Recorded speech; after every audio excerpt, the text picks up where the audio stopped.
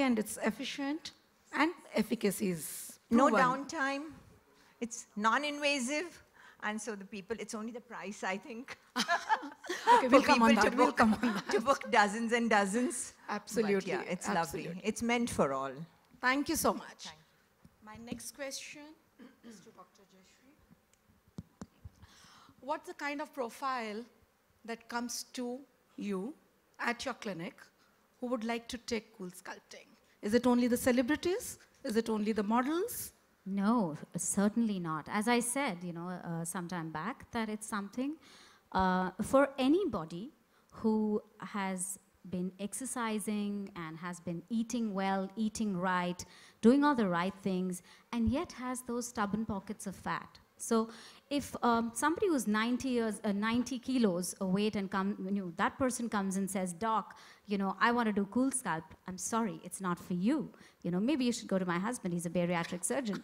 but So you both again complement each other. yes, yes. But uh, yeah, and, and I'll tell you that it's not just a female uh, Orientation that, yeah. thing. Uh, I do have 60% females, yes, who come for cool sculpting, but 40% are also males. And they're happier clients because they come back for more cycles because they have the Paying capacities, paying deep capacity. pockets. So, you know, um, you, they finish with their abdomen, then they say, okay, we'll come back for more cycles for our flanks, we'll come back for our thighs. So it works that way. So guys, yes, they are also there, yeah. But then it's very important to sort of counsel them because it's not something wherein you've, you know, done your cool sculpt and you're, you know, it's all hunky-dory, you've got your double chin off. All and then you chiseled go up. and, yeah, and then you're going and hogging away to glory and you're not going to Prashant and you're just sitting back. Doesn't work that way. Excellent. Uh, my next question is to Sridhar. Sridhar, tell us how's the response been for cool sculpting in India? Yeah, with uh, increasing income range and uh, with people becoming more and more conscious uh, about looking good and people like Prashant doing a good job and making people aware of how to look fit, uh, something like this, like fat reduction, has become uh, is, uh, something very important in the plan of uh, their looking good. And hence we see a good response and especially as people said that when something which is proven, scientifically proven, and when it is effective, when it delivers result as what it is promised, and when it is safe, people, and when it is, when, which has got something which has got very less downtime, people generally look for those solutions, and hence it is a welcome approach, I feel, with all people who want to look uh, uh, toned and sculpted actually. So fair no mirror. Okay, where do you see cool sculpting three years from now in India? Yeah, so if you All look at sculpted? On everyone's tummies. Absolutely. I was about to just say that. I would say if it can play an important role as part of a comprehensive plan in looking good, whether it is a fitness regime, diet regime, and all that, and if people, if somebody is looking at a comprehensive plan and if it can play an integral part and important role, I'll be very happy. So, in every Indian who's looking for a comprehensive plan, if cool sculpting is part of it, I think I have achieved something good. Excellent. So basically not health and cosmetics, more of a lifestyle. It's a, it's a way that you live and the choices you make. Absolutely. Uh, that's pretty cool. That would be cool to have it like that. Thank you so much. And I would like to now hear from Mark in the last as to what plans does he have for India going forward. So, so thank you again, uh, Monica, and thank you everybody for the very inspiring words that you're uh, speaking out around uh, cool sculpting. I think there are a few things important what I pick up from uh, the conversation here. I mean, we're all privileged people that uh, live longer in the future. You know, by 2050, you know, the average age will be 100 years. Now, that will be, I mean, we're grateful that this all happens. But together with that, there comes a responsibility. We physically also will need to be adapted to that longer life and be in perfect shape. So in that sense, uh, you know, we are a company that is really leading in medical aesthetics. And, you know, lifestyle is part of it, but it will become an integral part of the way how we compose and the way how we guide ourselves through longer life that we can be feel first of all proud, feel confident, and you know if you're lucky, beautiful as well. you know, so so that becomes a lifestyle that we have to cherish and that we need to help uh, building. Our responsibility as a biopharma company is, first of all, providing you innovative tools and products. But secondly, train healthcare professionals around the world and everybody that touches these products in the best possible way that you as patients and consumers can really have the best outcome. And we take that really very serious. And thirdly, we will need to bring awareness to the public that it is okay to look good. It is okay to do procedures that you feel better and you realize your potential. You're becoming really the best of yourself. That is really okay. So with that, uh, Monica, I, uh, I, I really thank you again for moderating the session. I, I'm very excited. I've been here almost a week. I'm very excited with what I'm seeing, with the spirit that I'm feeling in India. I'm very excited that with the help of our professionals here, that uh, we're going to help many consumers and many people living a better, healthy, and, and really fulfilling life. Thank you very much. Beautiful. Thank you so much. Let's give it a big round of applause to this panel Thank you. who's gonna take and make us more healthy. I'll invite Sridhar over to stage.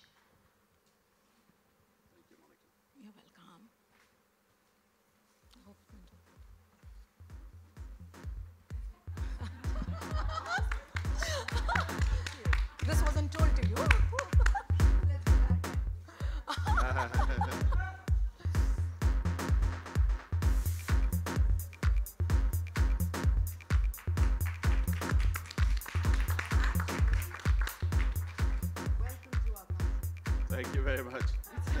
Thank you. Wonderful you. Really appreciate, appreciate. Thank you very much.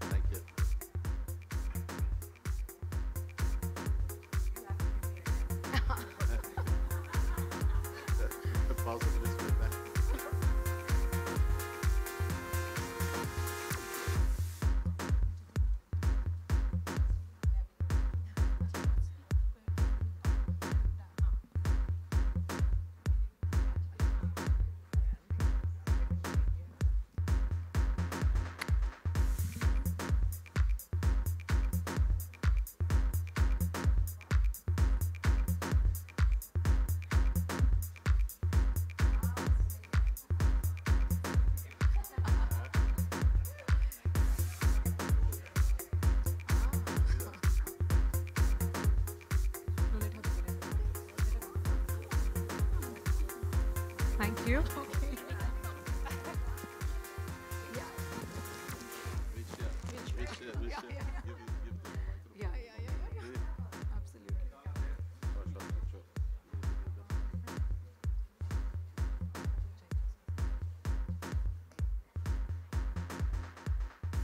Post the photo op. I would request all the media to kindly come forward to put your mics on the table for a media bite.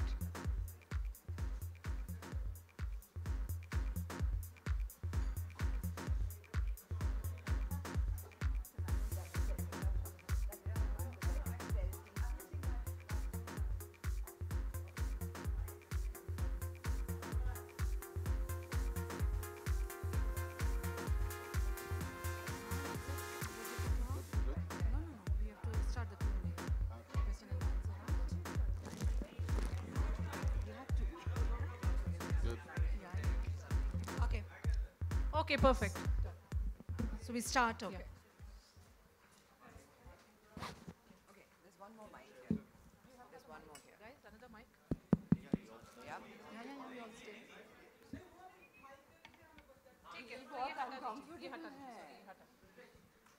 there's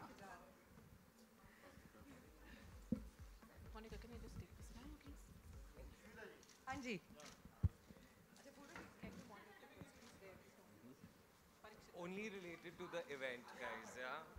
Please let us know whom you're asking the question to so we can uh, accordingly get the सब. Punishment में खड़े हैं इधर Hi. कोई कुछ पूछ लीजिए please हाय सुष्मिता जी आपके ठीक सामने हाय And कैसे हैं आप request you all to keep it related to the event, please. Your, all your questions, kindly keep it related to the event. हाँ दिव्या बहुत डांटती है हाँ? देखा आपने ओके सुष्मिता जी हम सभी जानते हैं कि आपके लिए age is just a number होता है हमेशा Really? हाँ एंड You know उसमें मैजिक क्या है? Age is just a number में मैजिक ये होती है कि अगर वो नंबर बोल दो तो then it becomes a number जो लोग डरते हैं बोलते हुए उनके लिए वो एज थोड़ा भारी हो जाता है. So that's why keep saying it so जो आपकी तरह ब्यूटीफुल एक्टर बनना चाहते हैं मिस यूनिवर्स बनना चाहते हैं उनके लिए क्या टिप्स देना चाहेंगे आप?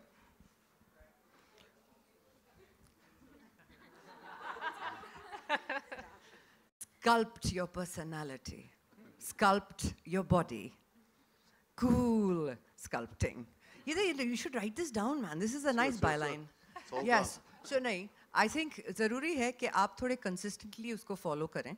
Uh, in the sense that if you want to be an actor, if you want to be a, a, um, a Miss Universe, it's, it should not be a dream that fades away. You have to pursue it. And then pursue it till you believe you've given it your all. Beyond that, हर किसी को famous होना या celebrity बनना या actor बनना ज़रूरी नहीं हर किसी के का अपना एक वजूद है which is powerful in itself so you just got to pursue whatever you are passionate about but that means first you got figure figure out what you are passionate about that's the hard job it's good to see you again thank you thank you so much thank you. Uh, Sushmita, have there been any moment to your center? Hi, Jan. Yeah, hi. Hi. So, in your life uh, kabhi aisa hua hai when you felt very conscious about weight or something like that? Haan i had i think 4 years of that. Because i was one of those brilliant people who put on weight and then went on national tv and did a show with Wasim Akram if you remember. I was superbly overweight. So it became like national news. I would see you know those stickers under the news channel? Headlines may have you seen sushmita sen? Um, but you know, I learned something during that time. I will lose the weight. But what are we going to do about the character everyone else lost in the process? So I think body shaming is not a cool concept. I've never liked it. And it's important to recognize that you're going to have dips like this in your life. You're never going to be consistently perfect. And while you're doing that and you're discovering things about yourself, and let me also tell you there are people in this world who have genetic issues, people who have health conditions. So to, to judge people is easy. But to let them just enjoy the moment is difficult because we are in, in the limelight and we're people who are judged every day. How did it feel? Not nice. It didn't feel nice at all.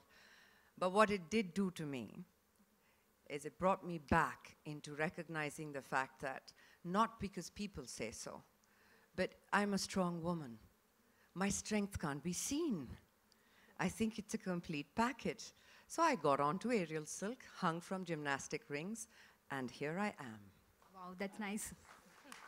Uh, secondly, whom would you, you know, term as a fi- uh, fitness icon in Bollywood now? Um, personally, Tiger Shroff. Okay. He's fit, very fit. Okay. Yeah, you know, you can't see or what? Um, Any other questions? You go, girl, Divya. This is the cue. You go. No, no, there are this generation of actors and people in the industry. They're all moving towards fitness rather than the perception of mujhe patla hona hai. There's a big difference between being thin and being fit. So I'm very happy that this entire generation of actors are doing that. There are a lot of fit women in the industry. Hi, Sushmita. Good evening. Here. Yes, hi. This is Shayanti. You're looking lovely and stunning. You've always been an inspiration. Thanks, Uh, so the fact that you mentioned that you know at 18 you had the pressure of being Miss Universe and you know dealing with uh, everybody's expectation.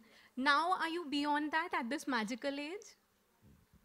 I like how you're just skipping the age and just going to this magical age. You're an inspiration. So again, You know, I, it's a lovely question. I don't think you ever stop being a woman.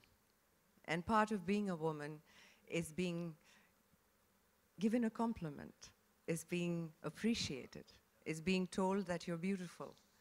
Um, and that beautiful um, is a lot of work. it's a lot of work because you never get over all of that. But what you do get comfortable with is your skin, is who you are. And then you get to that point where you say, you know, bad day, but if I wake up tomorrow morning and I want to be a 10, I'm going to be a 10. That confidence comes with age. That unfortunately doesn't um, come at 18. Definitely not at the time that I was 18. The 18 year olds today are far more evolved because they have social media, they have great awareness. We didn't have Google and we didn't have YouTube and we didn't, so our world was very different. But yes, in today's time, if you tell me to define the business of beauty and perfection, I'd tell you just walk all over it, darling. There's no such concept. The only thing that matters is how you perceive yourself. Do you like who you see in the mirror? And if you do, and good for you, don't listen to anybody else. Thank you so much. Any questions for any of the panelists, or we'll just take one more last question? Anybody? No. No? Okay. Thank you. Wah, that was quick. Thank you.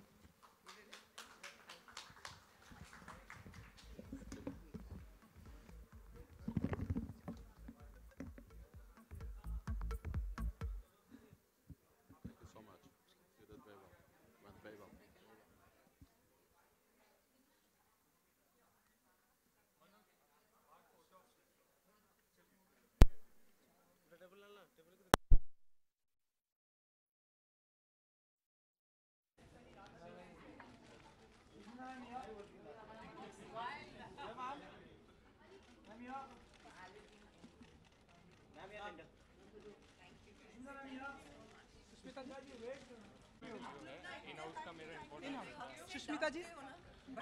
एक